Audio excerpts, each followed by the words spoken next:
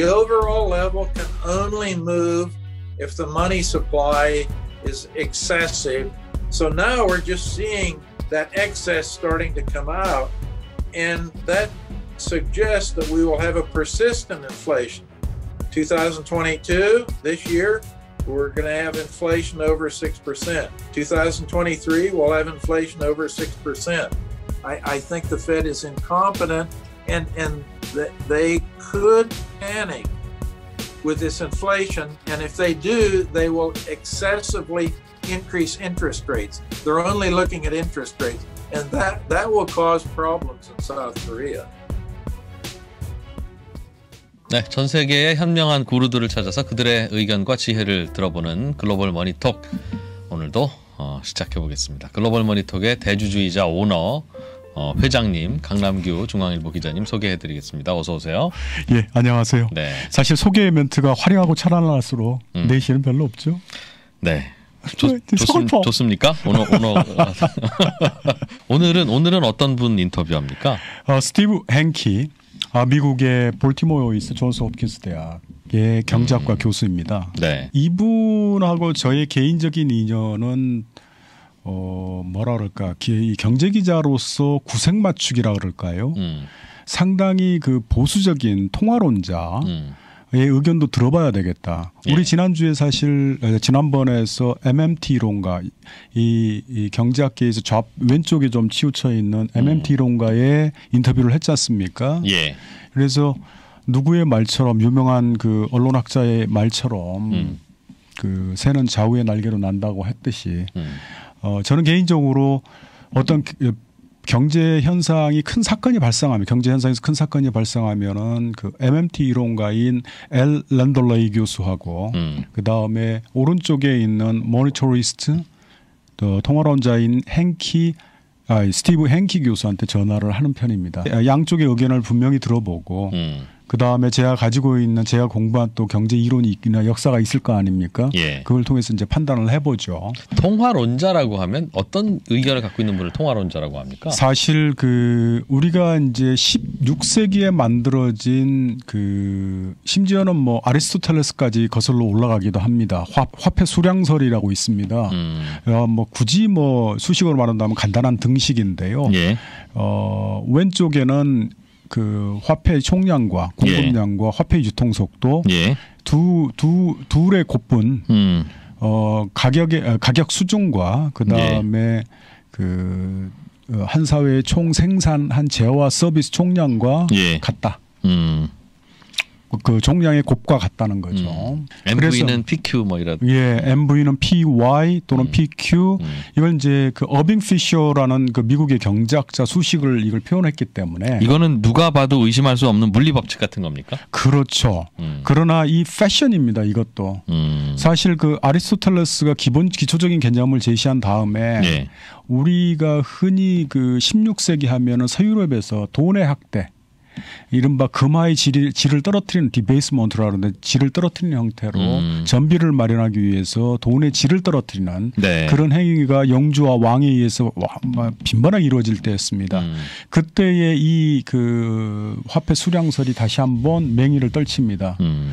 그리고 음, 우리가 스태그플레이션으로 얘기되지 않습니까? 1970년대 이후에 다시 한번 이 통화론자들 그러니까 화폐 수량설이 음. 이 부활을 해서 맹위를 떨치죠. 근데 한마디로 말한다라면은 예. 화폐 유통 속도와 그 다음에 한 사회의 제어와 초, 서비스의 총량의 합은 음. 그렇게 빠르게 변하지 않는다라는 가정하에서 예. 통화량이 늘어나면은 물가가 올라간다. 오른다. 물가가 음. 한 사회의 물가 수준이 올라간다. 예. 지금 우리가 알고 있는 이른바 뿌리 깊은 상식화돼 있죠 경제 상식. 음. 통화량이 증가하면은 물가가 올라간다. 그렇죠. 돈을 많이 풀어내니까 예. 물가가 올라간다. 심지어는 물가가 올라가는 것 자체가 이게 무슨 물가 오르는 현상이 아니라 돈같이 떨어지는 현상이다. 예, 그렇게도 말을 예, 하고요. 예, 예. 반대로 이제 MMT 이론가들은 물가 상승의 요인을 굉장히 세분화해서 연구를 하는데 음. 이그 화폐론자 아, 통화론자들은 그렇게 얘기 그렇게 뭐 세분화해서 얘기하진 않습니다. 음. 그래서 오늘 사실 근데 MMT 이론가도 주류 그러니까 다수설로 말한다면 주류 경제학계에서 살짝 왼쪽으로 벗어나 있는 음. 그런데 통화론자들도 최근에 와서 통화론이 과거에 이제 우리 그 엄청난 그 양적 완화를 했는데도 물가가 올라가지 않는다라는 그런 눈앞에 벌어지는 현상 나타나는 현상을 예, 예. 보고 통화론자들도 사실은 약간 뒷방으로 밀려난 듯합니다. 음, 요즘 분위기는 예, 그렇죠. 음, 그래서 네. 얼마 남아있지 않고 뒷방에서 그러나 어, 권토중래를 꿈꾸면서 음, 음, 음, 꿈꾸는 우리 그 스티브 행키 교수 예.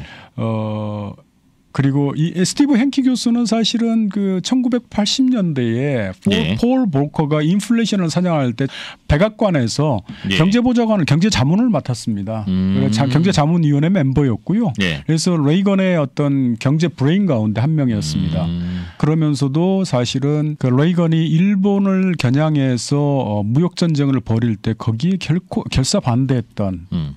어, 어, 경제 이론가죠. 음. 그래봐야 소용이 없다. 이분한테는 오늘 무슨 질문을 주로 던지십니까? 자, 오늘 요즘 이제 우크라이나 사태로 더욱 공급 불안과 음. 그 에너지 가격이 급등하고 있지 않습니까? 예, 예. 이런 물가 상승의 압력이 음. 높아지고 있는 이 와중에 이걸 이거 이거 물가가 왜왜 어, 왜 물가가 올라가고 그다음에 물가를 잡기 위해서는 연준이 어떻게 해야 되고 페드가 음. 예. 그다음에 실제로 그 연준의 에, 인플레이션 사냥이 음. 성공할 것인가 이걸 좀 중점적으로 오, 어, 물어보겠습니다. 제가 궁금한 질문들이네요. 네. 바로 시작해 보죠. 예. 네. 아 교수님 감사합니다. 번번이 인터뷰에 응해 주셔서 다시 한번 감사드리고요. 그런데 교수님 바로 들어가겠습니다. 지금 여러 가지 그 물가 여러 나라의 물가가 불안합니다. 미국과 유럽의 소비자 물가 지수가 사실 어, 최근 30년 사이에 상상할 수 없는 수준까지 올라가고 있습니다. 음. 어떨까요? 이게 어, 왜 발생하 왜 물가가 오르고 있는 거죠? 그리고 사실 내심 이게 하이퍼 인플레이션으로 가는가 아닌가라는 불안감도 없지 않아 있습니다. 교수님 의견이 어떠신지요? First, let's start at the extreme hyperinflation. Hyperinflation, uh, since 1956, there was a famous article by Professor Philip Kagan in which he defined hyperinflation as a rate of 50% per month and and that's been the standard and practice that's been used ever since 1956 i've been able to amend that a little bit because i i can use high frequency data to measure hyperinflation. And so i've amended the the criteria criterion that kagan came up with. And i say hyperinflation exists whenever you have 50% per month for 30 consecutive days. So if you have each day of the month, 30, 50% per month or more, it's hyperinflation. So there have only been 62 of these cases in, in world history. So it's it's fairly rare that you have hy- that kind of hyperinflation. Uh, so other inflations are just high inflation just some something less than 50% per month. I mean, in most cases, it's way, way less than 50% per month. Uh, in fact, in most situations, it's not even 50% per year. You, you have only maybe 12 countries, 15 countries in the world right now that have inflation rates that are over 50% per year, not, not per month. So that's the that's a general context. And in the United States, for example, the current inflation rate, the official rate, 6.8% per year. So that that that generally is uh, the, the the the definitional lay of the land, shall we say? It's a price level going up. In other words, there there are a basket of several hundred commodities in the uh, in the basket, and and those are are on average going up uh, up. The level, as you say, is going up. The basket's going up. The consumer price index is going up. Within the basket, those commodities, the relative price changes are moving around up and down, up and down, up and down but the overall level is is going up and the reason that goes up inflation the level going up is always caused by excessive monetary growth. If the monetary growth is excessive, then you have the price index going up. The relative changes in, in between, these are due to changes in supply and demand uh, in the various components of the price index. For example, food prices, uh, car, automobile prices, uh, housing prices, those things are moving around in there. But the overall level is, is going up. And, and this is where the confusion lies in the United States, anyway, and, and in the world.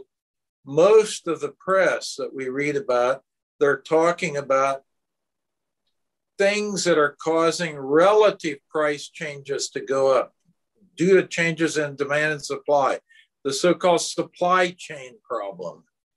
The, in the United States, they talk about all the supply chain problems. And then we've even had people saying, oh, prices are going up because the weather is changing. Well, that changes demand and supply conditions for various food products, but it, do, it doesn't change the overall level. The overall level can only move if the money supply is excessive or if it's deficient, you could have a deflation and the, th- and the basket goes down. But that is all monetary. Remember, Professor Milton Friedman, the Nobel laureate in economics, famous economist, told us a long time ago that inflation is always and everywhere a monetary phenomenon. And he's talking about inflation, the basket, the price level moving. And that's a monetary factor. It's not a demand and supply problem with supply chains, with weather. Uh, e- even now, some people in the United States are saying monopolies are causing prices to go up. Some companies have monopoly power and they're they're forcing the prices to go up and that's causing inflation. Well, that might be true. They, there might be some with monopoly power, but that's that's a demand and supply relative price change problem. So the distinction to get is between changes in relative prices, things going on in the basket, and changes in the price level, which is inflation. And that's a monetary thing. 역시 통화의 현상. 어, 역시 돈 많이 풀어서 올라가는 거지 공급 부족, 공급망은 무슨 개뿔 공급망? 어, 예, 소비나 공급이 공급보다는 음. 소비나 그러니까 흔히 말하는 cost push냐, 음. demand pull이냐라는 그런 이론 그런 이론적인 접근 내지는 그 경험 제 소위 계량 경제학적인 분석 음. 그럴 필요 없이 그 돈이 많이 풀렸기 때문에 당연히 물가가 올라가는 거다. 모든 물가 상승의 원인은 돈 때문이다. 굉장히 간단 명료하죠. 그러니까 supply chain이건 컨테이너 선의 마비건 노, 부두 노동자건 그런 소리 하지 말아라. 어, 그렇죠. 음. 그것은 과거에도 발생했었고 네. 또 앞으로도 발생할 수 있는데 니들 주머니에 돈 들어 있으니까 자꾸 비싼 가격에도 사는 거지. 그렇죠. 돈 없어 봐라. 뭐 컨테이너가 아니라 뭐가 막혀도 하나밖에 없어도 안 사지 않겠느냐. 참 전원이 경 경이로운 눈빛을 쳐다보지 않아요 순간 저렇게 어떻게 그 이 적절한 코멘트를 일상으로 할 수 있는지. 어, 음. 그렇군요. 근데 이런 설명하시는 분들의 이야기를 들을 때마다 네. 그래 그 말이 맞기도 맞지. 주머니에 돈이 있으니까 매대에 빵이 두 개밖에 없어서 가격이 두 배가 되더라도 그 빵 집는 거 아니겠습니까? 그런데 그것만이 요인이냐? 꼭 그렇게까지 너무 단순하죠. 어, 그러니까 그게 원인의 100%야. 주머니에 돈 있어서 그래. 네. 라고 하는 게그 조금 그래서 좀 너무 우리 사회가 특히 경제학 쪽에서 네. 경제학적 경제학에서 음. 어, 굉장히 중시하는 하나의 그 기준이 있습니다. 판단 기준. 네.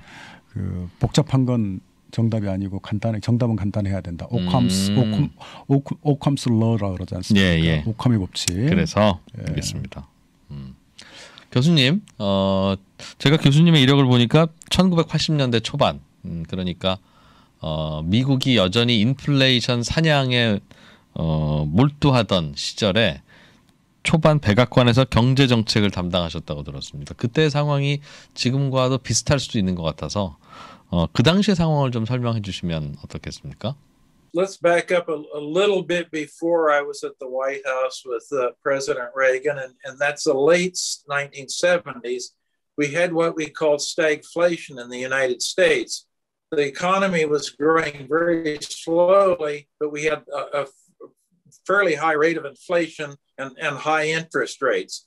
And then uh, President Carter was the president at the time, and he appointed Paul Volcker to be the chairman of the Federal Reserve in the in the very late 70s. Volcker was appointed, and and then Reagan was elected in 1980, shortly after Volcker became the chairman of the Federal Reserve. And at that time, Reagan said that the major economic policy objective that he had was reducing inflation. And, and he and Volcker agreed that the way to do that was to slow down the rate of growth in the money supply. Because as I just said, what Milton Friedman told us, inflation is everywhere and always a monetary phenomenon. So in the 70s, too much money supply, excess money, too much inflation, high interest rates.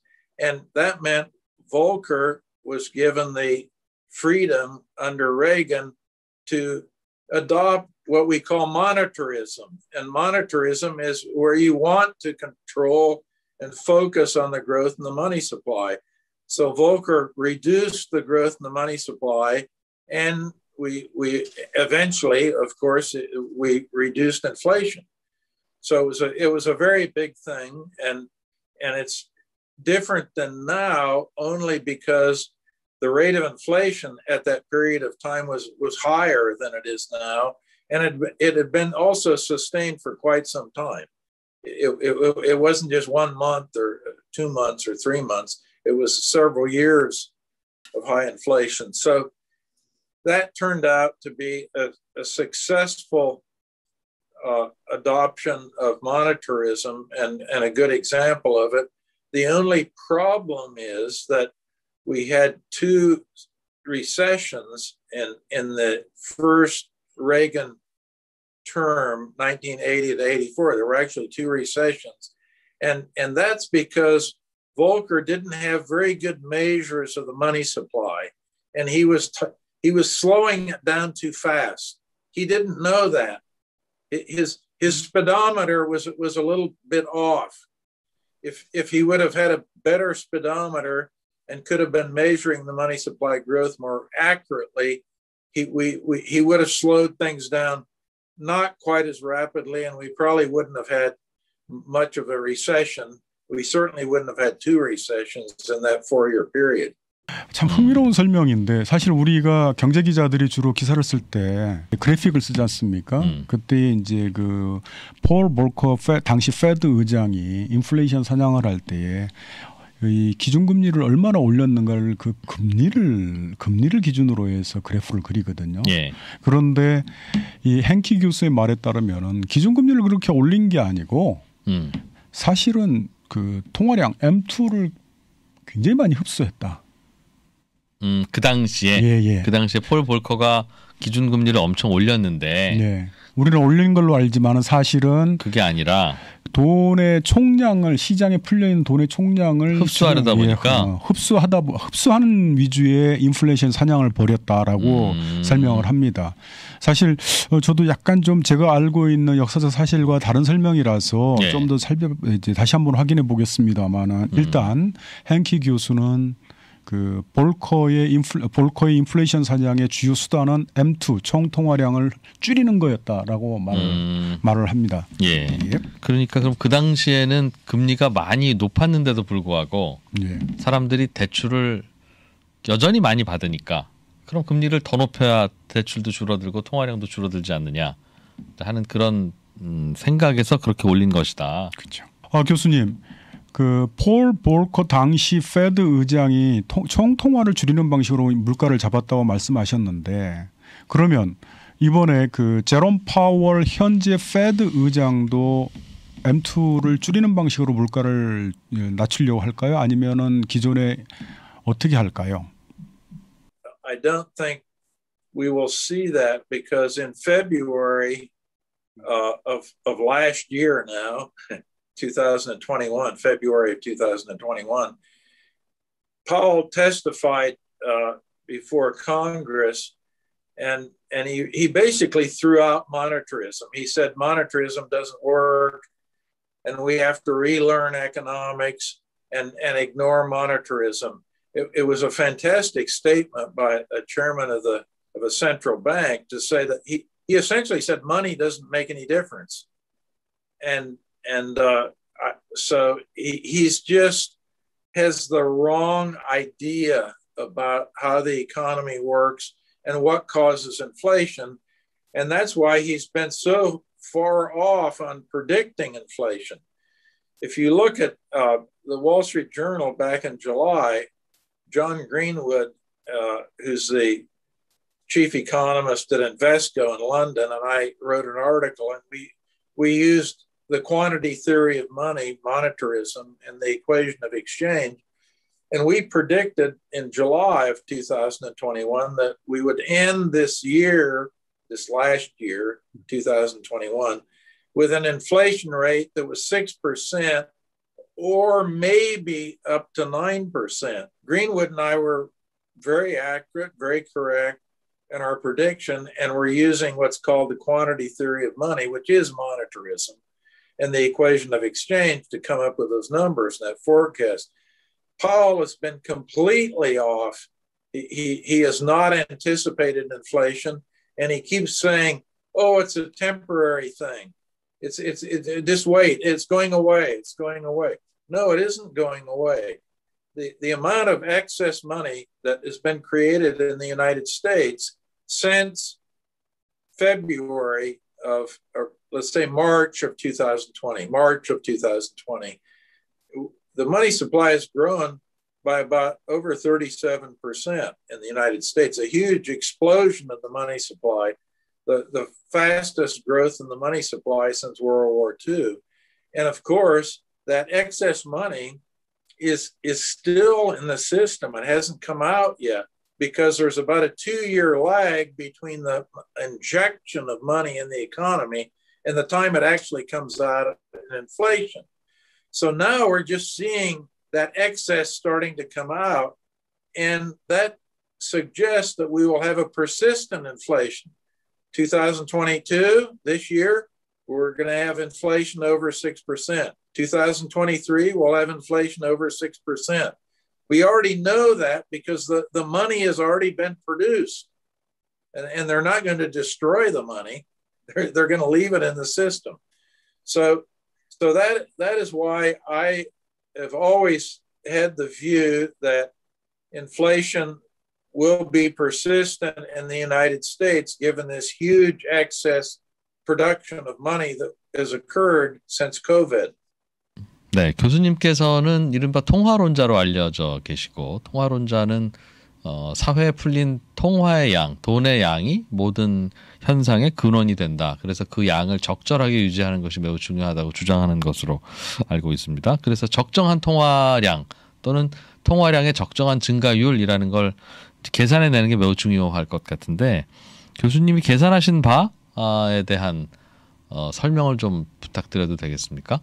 The golden growth rate is applying the quantity theory of money and the equation of exchange, if you plug in all the numbers, the golden growth rate is the rate of growth in, in broad money, broadly measured. Let's say those growth rates, the golden rate of growth is the one that is consistent with allowing the Federal Reserve to hit its inflation target of 2%.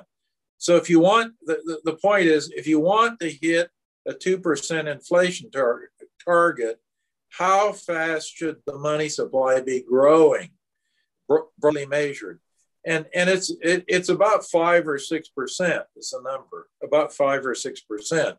Now, even now, you mentioned tapering, and they supposedly are tapering, but the, but the growth rate in broad money measured in M2, it's still growing over 12% in the United States. They haven't slowed it down.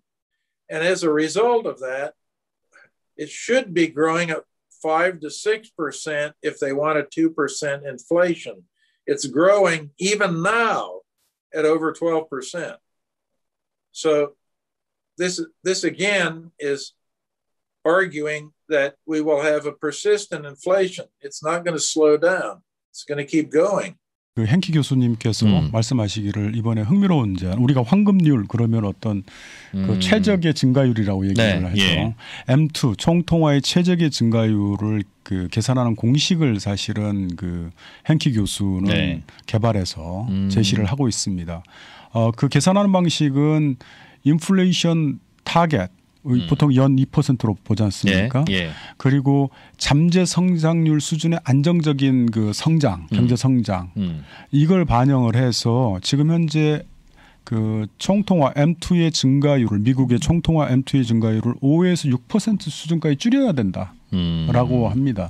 그럼 황금률 황금률 계산 방식에 따라서 나오는 총통화 적정 증가율은 미국의 경우 음. 5에서 6%라는 얘기죠. 5에서 6이 조금 전에 말씀하신 물가 상승률과 실제 경제 성장률을 더한 숫자입니까 대략? 아니요. 사실 그 행키 음. 교수의 황금률은 네. 사실 간단한 수식입니다. 인플레이션 타깃 뭐 미국 같은 경우는 연2% 정도 대략 한 2% 정도 2% 물가를 하죠. 예상하고 있다. 그다음에 실, 미국의 한 10년 단위로 봤을 때 실질 평균 성장률 있지 않습니까? 예. 명목 그 성장률에서 물가 뺀 거. 예. 예. 실질 평균 성장률. 예. 그 평균치 실질 성장률의 평균치 한 10년 정도. 음. 그 둘을 더한 다음에 예. 그 다음에 아까 그 앞서 말씀드렸던 화폐 수량설에서 화폐 유통 속도라고 하는 음. 그 평균 변동치를 빼주는 거죠. 최근에 빼준다. 만약에 아. 만약에 최근에 그 화폐 유통 속도가 뚝 떨어졌다 예. 마이너스다 평균 음. 그러면은 사실상 이건 덧셈 더해지는 거죠. 음. 그러니까 이게 직관적으로 명확하네요. 아 그렇죠. 어, 그러니까 우리 사회에서 필요한 통화라고 하는 건 물가 오른 폭 경제가 성장한 폭만큼 더한 것만큼 늘어야 되는데 네. 최근에 화폐 유통 속도가 어 낮아져서 즉 경기가 안 좋거나 사람들의 마음이 불안하면 그보다 좀 더 풀어야 되고 그렇죠. 어 그러니까 방금 말씀하신 그 변동률의 마이너스를 더한다는 거 아닙니까? 그렇죠. 사람들이 좀 너무 흥분해 있는 것 같으면 거기서 조금 좀 덜어내야 된다.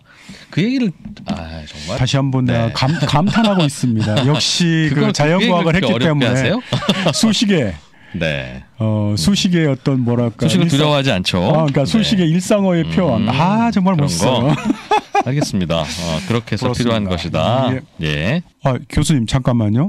사실 그 과거의 황금률 계산 방식을 보면은 교수님은 그 넓은 의미의 통화, 즉 M4 미국에서의 M4를 쓰셨는데 어디 최근에는 다시 M2를 쓰십니다. 어떤 무슨 큰 차이가 있, 있을까요? 어떨까요, 교수님?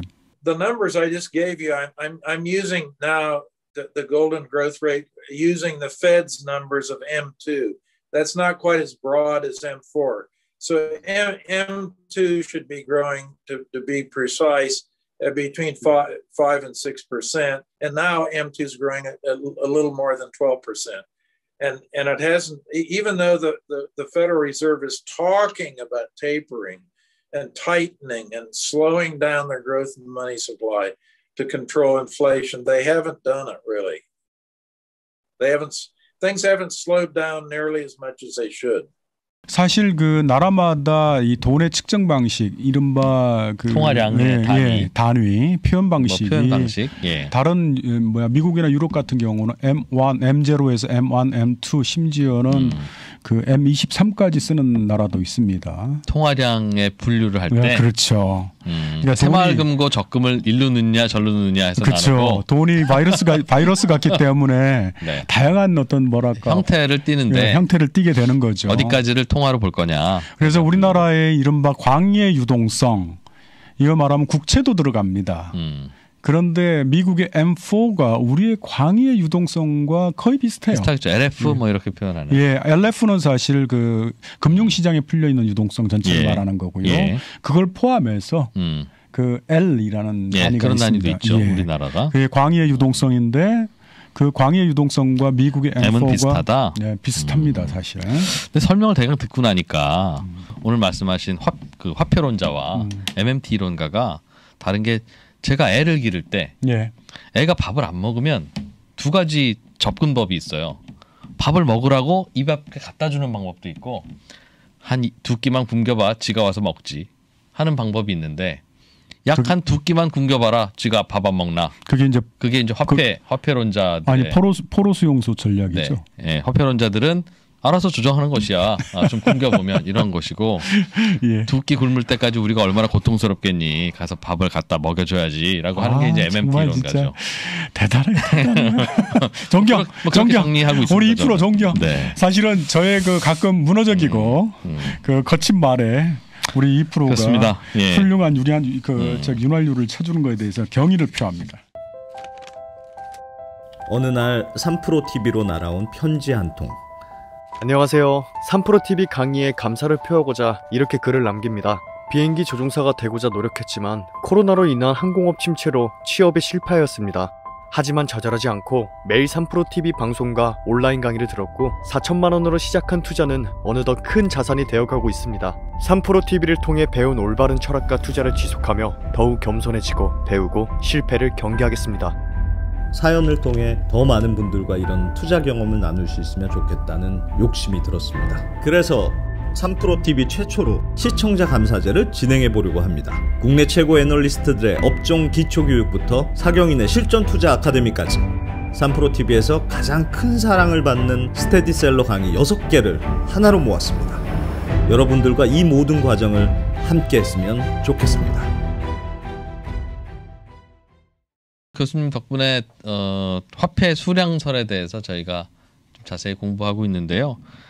그 미국 중앙은행의 두 가지 목표, 어, 하나는 뭐 물가 안정, 또 하나는 어, 일자리 창출 또는 경제 성장. 이 두 가지 목적이 화폐 수량설의 주장에 의해서도 한꺼번에 동시에 추구될 수 있는 함께 반영될 수 있는 정책 목표입니까? Well, there, there's nothing about the employment rate in, in the equation of exchange. I mean, the equation of exchange is just got four variables in the identity and m the money supply times v its velocity equals p the price index that you talked about times y and y is the real growth potential in the economy. So the real growth potential in the economy is about 2% in the united states and and you just plug in the numbers for for m and v and you, you, you can solve for P then, uh, or, or, or you can juggle it around any way you want to and solve for whatever variable that you're leaving out in the system. And, and the golden growth rate, of course, what we do, you, you plug in V, you plug in P, the price index, that, that's the target, 2%, and, and Y, the real growth rate, which is about 2, 2% in the United States. And then you solve solve that little algebraic equation for m, and m is the golden growth rate. 교수님, 그 사실 화폐 수량설은 굉장히 오랜 역사를 갖고 있습니다. 그런데 현대에도 현대에도 이렇게 복잡한 경제 구조에서도 그 단순한 그 화폐 수량설이 유효적절할지 의문입니다. 교수님 어떻게 생각하시는지요? That's good. It's it's good that you're working with that. The the problem we have is that, that most people have never learned the quantity theory of money. They've never learned the equation of exchange. And if you read the material coming out from the investment banks, it, it's all wrong. Almost all of it is com- com- complete rubbish and, and, and wrong. And that's why they've been completely off in their forecast of inflation. They've been very surprised that the thing continues in the United States and and they keep saying it's transitory it's transitory. And what that is they're using all these ad hoc what, what greenwood and i call ad hoc explanations for why we have inflation. Instead of looking at the quantity theory of money and the equation of exchange because as greenwood and i like to say the equation of exchange which by the way has been around since the 15th century. This is not a new thing. The quantity theory, it's been around for uh, many centuries and very reliable. But the, the, the, the, the thing is, the, the ad hoc explanations are not contained in the quantity theory. The quantity theory is a monetary theory of economics, and it's a theory of everything everything is in that quantity equation, MV equals PY. It's really a theory of everything.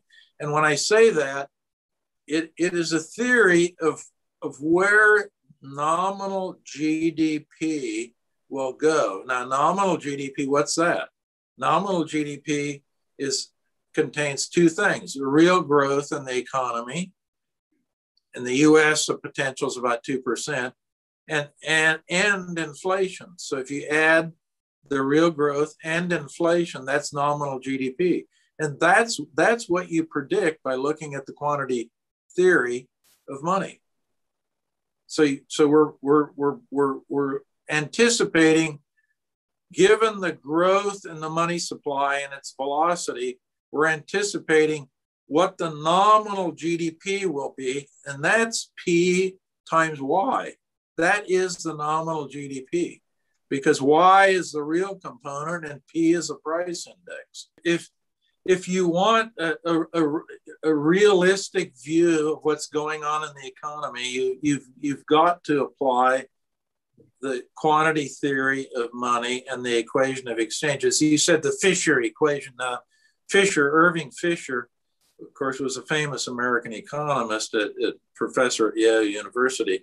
But, but the, the Fisher equation is his is slightly different than the one I gave you. I gave you the, what they call the income form of the Fisher equation. The Fisher equation is, is actually MV times PT, with P with P being the price index and T being the transactions. But yeah. but as an as an operational tool, it's theoretically it's it's correct. There's no problem with that. But to operate it and make it useful, you you have to use the income form, and that's what, for example, Friedman used the income form. Keynes, Keynes, by the way, used the income form, and that's PY on the right hand side, PY, or or the nominal GDP. 주류에서 살짝 벗어난 이론가의 그 경제 이론가의 말을 말을 듣다 보면은 자주 발견되는 문장이 이런 겁니다. 음. 현재 경제 교육이나 내지는 과거에 그, 그 우리 그 제임스 갈브리스 교수 인터뷰할 때도 제임스 갈브리스 교수가 뭐라 그랬냐면 현재 음. 그 대학의 일자리 배분, 그러니까 이른바 교수직 자리 음. 배분에서 어, 주류가 아니면 철저히 배제되고 있다. 예. 그러다 보니까 학교에서 그 제대로 된 폭넓은 경제 이론을 살펴볼 음. 배울 기회가 없다. 배우려고 하지도 않고 음. 학생들이. 근데 똑같은 비슷한 말씀을 우리 행키 교수도 합니다. 사실 그 현대의 주요 월가에서 활동하는 활동하고 있는 이카노미스트들은 음. 화폐 수량설 자체에 대해서 그렇게 많은 공부를 하지 않는다. 예. 그래서 지금 그 제대로 이게 그 좋은 의미를 갖고 있는데 제대로 쓰이지 않고 있다. 음. 그리고 다시 달리 말하면 시장 참여자 투자자들의 접할 수 있는 빈도가 아주 낮은 음. 모델이죠. 음. 그렇다고 얘기를 합니다. 예. 사실 그 어떤 뭐랄까 주류에서 벗어난 분들이 기존의 관행과 시스템 내지는 교육, 기타 등등을 비판하는 익숙한 말씀이죠. 음. 참고하셨으면 합니다. 예. 현재 통화 정책에 대해서 좀 다른 의견을 갖고 계신 색다른 의견을 갖고 계신 걸로 들리기도 해서 어, 교수님께서 만약 그럼 그 미국의 연준 의장이라면 최근에 이 물가 상승에 대해서 어떤 처방을 내리시겠습니까? I, I would slow the growth in the money supply down to the golden growth rate of about five to six percent, broadly measured by M2. That that's that's the broadest measure that the Fed reports. So you, let's use the, the Fed number M2, and I'd slow that down to about five or six percent. That that's about that's about one half of where it is right now. And and and stop talking about increasing interest rates and, and uh, supply chain problems, all these other all these other irrelevant things. You you only should be focusing on the money supply. And if you read the, the, the last Fed minutes that just were released within the last 24 hours, those things were just released yesterday. They don't even mention money supply. And the reason they don't, it goes back to what I just told you if you look at the testimony of Jerome Paul in February, he, he, he dismisses the money supply. He said it, it doesn't make any difference.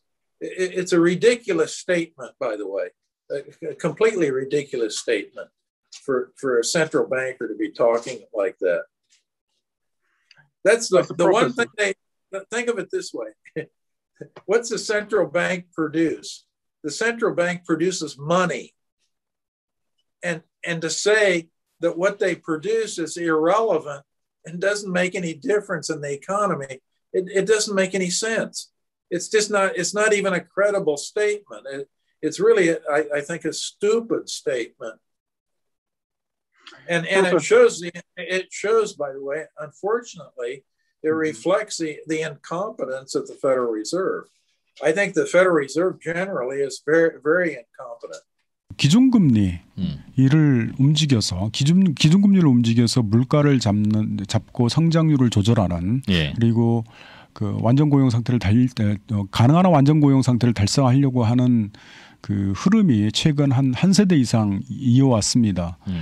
그렇더라면은 이 정도로면 이 정도라면은 기준금리를 활용한 통화 정책이 어, 타당한 것으로 입증됐다고 봐야 되지 않을까요? 교수님 어떻게 생각하세요? Paul Volcker in the early 80s, he was looking at the M2, the money supply.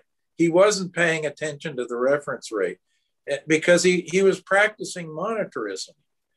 And, and, and if you're practicing monetarism, you look at the money supply, you, you don't worry about so much about the reference rate. The reference rate, in, in a way, is is is a means to an end, and the the end is is the money supply. You only have to be focusing on broad money, and and think about it. Why why do you do that? Why why is it so important to be thinking about broad money? That's that's the amount of money that is in the hands of the public. That is the, that is the ammunition the public has to spend or save. That, that's what makes the economy move. And, and, and, and it is the amount of money in the hands of the public. What, what they call the non-bank public. That's, that's people like you and me, and uh, people, people in the people in the real world. 예, 뭐 마무리 질문을 드려야 될 때가 된 것 같습니다. 교수님 앞으로 그럼 이 오늘의 주제였던 물가 상승 이 앞으로 어떤 식으로 움직이게 될 것인지에 대한 간단한 전망을 좀 부탁드리고요. 여기에 대한 연준의 대응이 어, 특히 우리나라를 비롯한 신흥국들의 경제에는 어떤 영향을 미치게 될 것으로 보시는지 그게 궁금합니다. Right now, I I I expect for 2022 the inflation rate will will be between six and nine percent. and it, and also in 2023 it'll be between six and nine percent. That's what we know already. We we know that excess money is in the system, and it and and once the excess money goes into the system, there's a lag of about two years before it comes out in inflation. So so that excess is just starting to come out now. So so that's that's all we know, and and and then we don't we don't know are they going to taper and actually reduce the growth in the money supply down to five or six percent? If if they would do that, then we would have the six to nine percent for 2022 and 2023. If they don't do that, may, maybe we'll be up more towards nine percent. This is a this is a potential risk. Now now now we're getting into kind of building scenarios and, and one, one scenario that the, the Federal Reserve is making a mistake. They focus on interest rates, okay, not, not the money supply. And so, so the, the, the, by looking at the interest rate, the Fed could, if this inflation keeps up, like I think it will, the Fed could panic. And, and if they panicked and, and there was a lot of pressure on them to bring down inflation and they thought the only way to do it was to increase interest rates, that, that would be a real problem for the emerging markets because that would mean that the dollar probably, number one, it would mean that the US probably would go into a recession. That, that's, that's one problem. So that, that's a problem for exports for, from South Korea and, other Asian uh, countries, for example. The, the other problem is if you're raising interest rates in the United States excessively, the dollar probably would be very strong. That, that the dollar is very strong now because people think they're going to increase interest rate. So that, that creates a, a problem for the emerging market currencies. It, it forces the emerging market current, currencies, it, it puts them under pressure and, and the emerging market central banks are then backed into a corner where they have to defend their own currencies like the South Korean won by increasing their interest rates. And, and that slow that that of course slows down the emerging market economies. So so the, the, the center of, of the world is, is the US Fed and, and the US dollar. There's no question about it.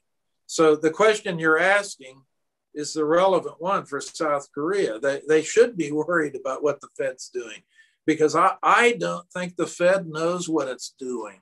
I, I think the Fed is incompetent and, and the, they could panic with this inflation. And if they do, they will excessively increase interest rates. They're only looking at interest rates. And that, that will cause problems in South Korea. 이 행키 교수의 진단은 말 그대로 음. 그 제롬 파월 등 지금 현재 그 FOMC 멤버들이 기준금리를 전통적인 처방에 따라 기준금리를 올릴 텐데 그래도 물가가 계속 상승하면 패닉에 빠져서 음. 더 올리고 결국 달러 가치가 급등하면서 네. 신흥국 위기가 발생할 수 있다. 음. 상당히 음울한 전망이죠. 네. 근데 제가 최근에 그 한 가지 흥미로운 그 일치라 그럴까요? 네.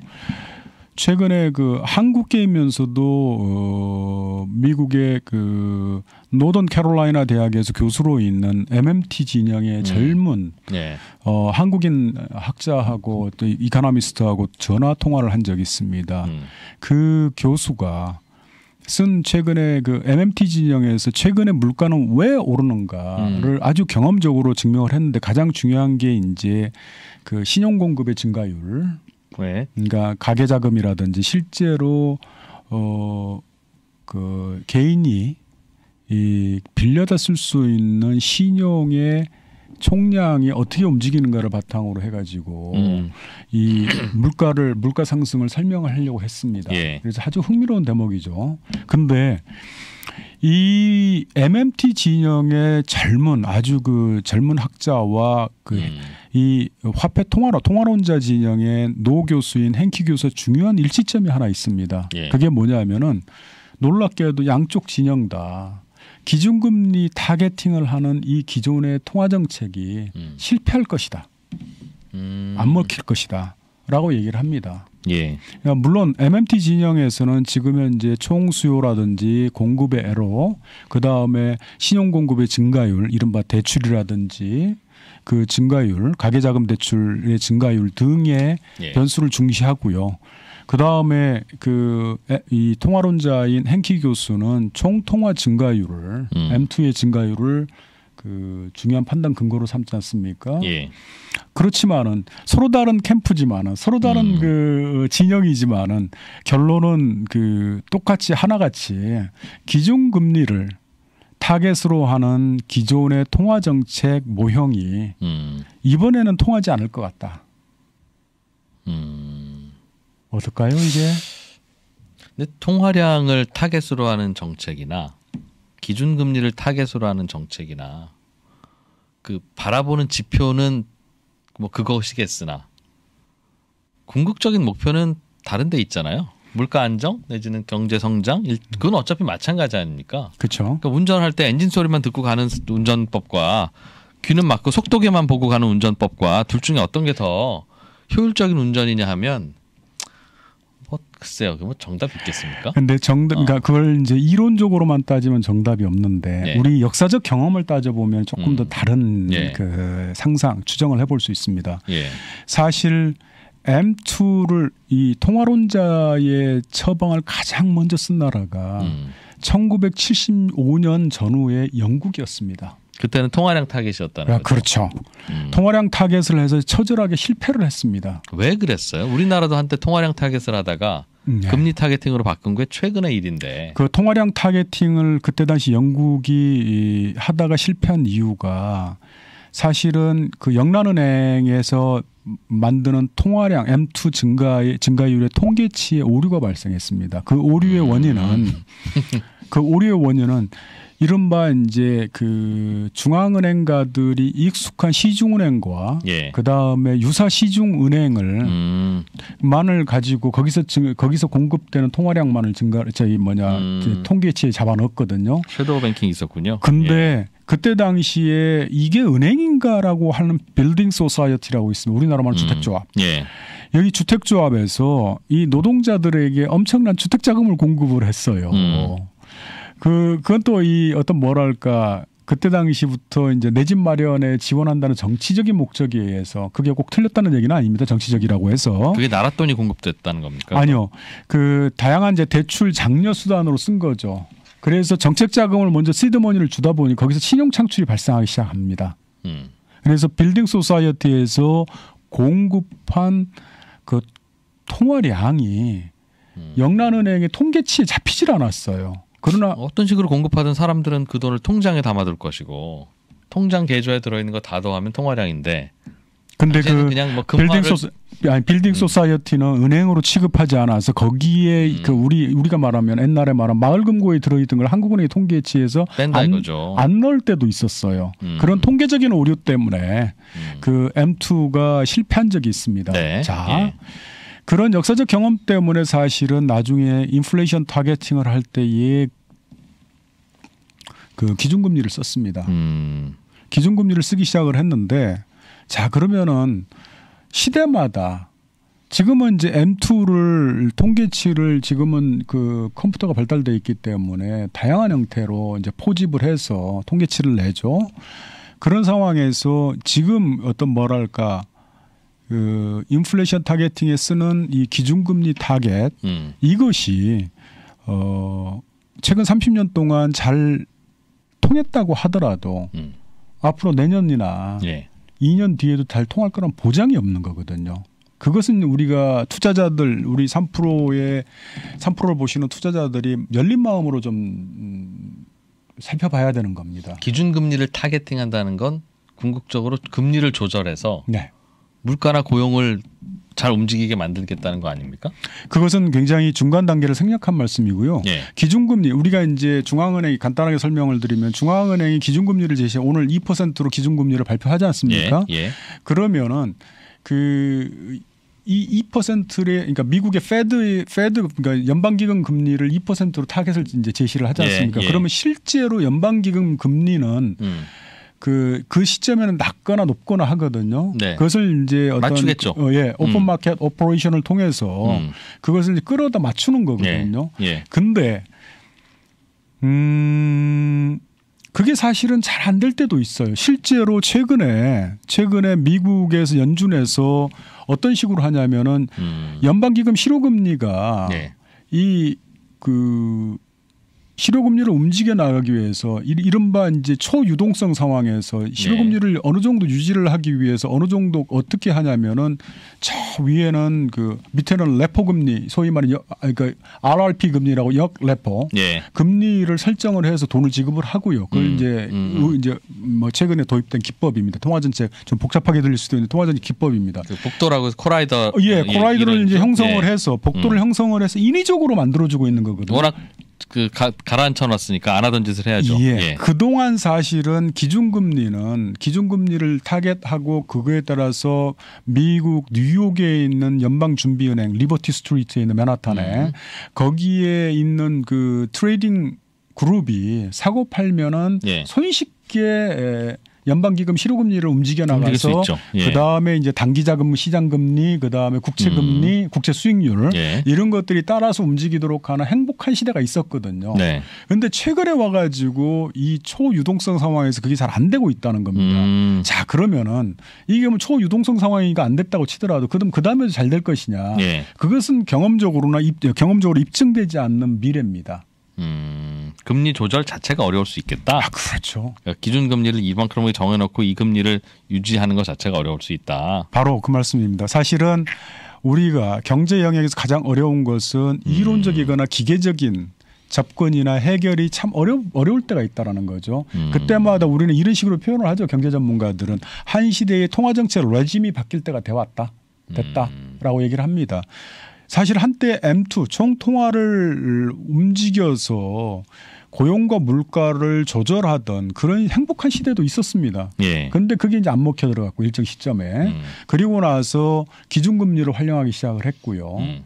그것도 안 그것도 안 돼 가지고 음. 그것도 기준금리로 했는데 위기 탈출할 때 안 되기 때문에 QE 양적 완화를 썼지 않습니까? 예.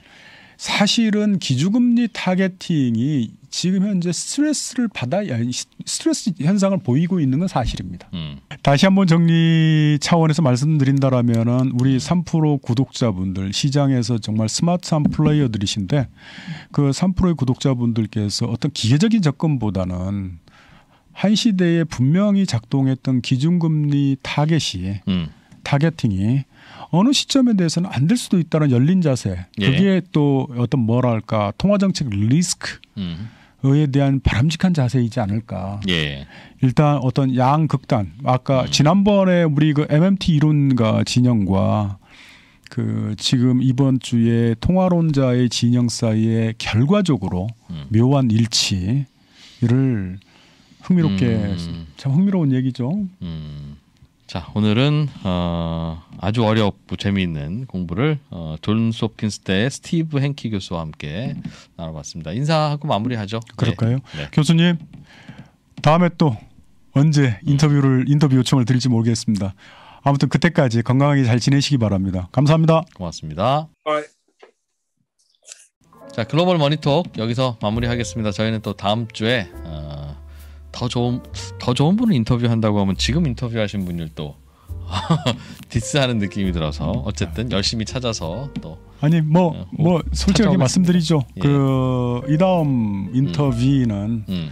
그 오크트리 자산운용사의 설립자이고 지금 회장인 네. 그 하워드 막스. 하워드 막스. 예, 하워드 막스를 인터뷰 하겠습니다. 정말? 예.